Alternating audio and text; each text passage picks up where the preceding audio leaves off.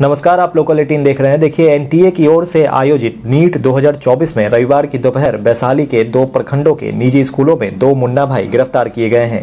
दोनों दूसरे परीक्षार्थियों की जगह पर परीक्षा दे रहे थे। सीबीएसई के सिटी कोऑर्डिनेटर अजिताभ कुमार ने यह जानकारी दी है।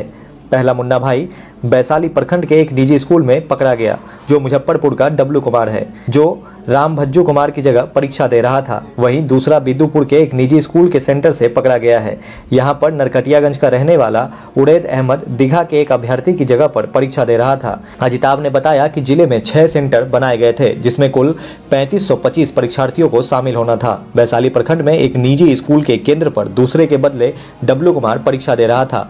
डब्लू मुजफ्फरपुर का निवासी है।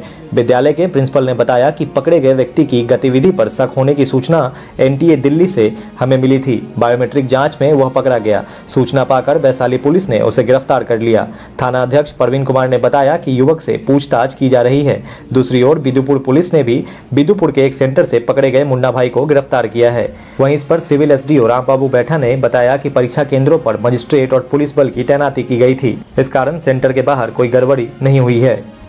वहीं बताते चले कि नीट यूजी के दौरान रांची से छह फर्जी अभ्यर्थी पकड़े गए हैं। एनटीए के city coordinator doctor Ram Singh ने बताया कि डीपीएस रांची से दो, Sarla Birla school DAV Bariatu, DAV Dhurwa और कैब्रियन स्कूल से एक एक अभ्यर्थी गिरफ़्तार किए गए हैं। सरला बिड़ला स्कूल से पकड़ा गया अभ्यर्थी सोनू, दूसरे छात्र अभिषेक के नाम पर परीक्षा दे रहा था। सोनू भभुआ के मोहनिया का निवासी है। डीएवी बरियातू से पकड़े गए अभ्यर्थी का नाम आशीष है, जो प्रियांशु के नाम पर परीक्षा दे रहा था। आशीष भी बिहार का रहने वाला है। लोकल एटीन के लिए पटना से उद्धव कृष्ण की रिपोर्ट